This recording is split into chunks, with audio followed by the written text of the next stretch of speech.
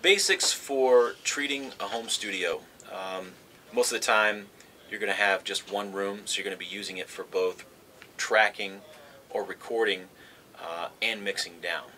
Most important thing to remember there is that all rooms are going to be unique. Uh, this, no two rooms are going to need the same type of treatment.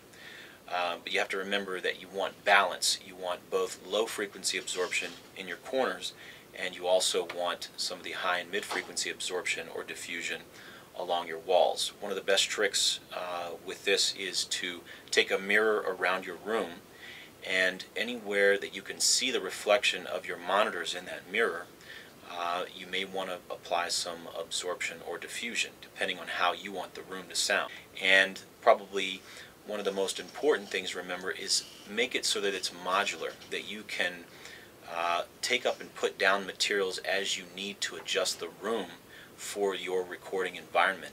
Um, by not permanently adhering things to walls, um, you can you have the, the flexibility to make the room sound the way you want it to for different projects. For these types of treatments, one inch and two inch acoustical wall panels, fabric wrap wall panels are very nice, especially if you're going to be putting them up and taking them down. They're a little more durable than foam, but they offer the same absorption values as foam uh, for the most part across the board.